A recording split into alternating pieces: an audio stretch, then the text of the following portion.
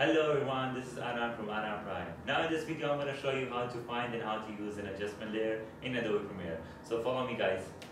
And guys, I'm so sorry for the bad sound. I'm using my headphone mic, so it's not the, that high quality mic, uh, and I'm so sorry. Now once we are in Adobe Premiere, we're gonna need a clip in the timeline. So we're just gonna grab this clip and drop it down here, and there it is. We're just gonna unlink this one and delete this original sound? There it is. Now we're gonna need adjustment layer to make uh, to do a color grading in the uh, clip.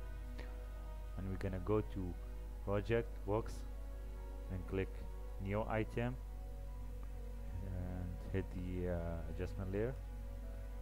And there is I'm just gonna hit OK. And there's the adjustment layer. So we're just gonna grab it and drop it down here and here is the adjustment layer. So now you can uh, do color grading or uh, transitions or color key or something like that. And the and the other place that shows the adjustment layer is in the file. But you make sure you click the uh, project box.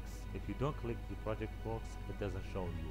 So once we click it you're gonna go to file new and there's the adjustment layer okay. And there is it. There is now that's all I have I have for you today guys. Um, if you like my videos please give me a thumbs up. And if you want me to make more tutorials please subscribe to my channel and have a nice day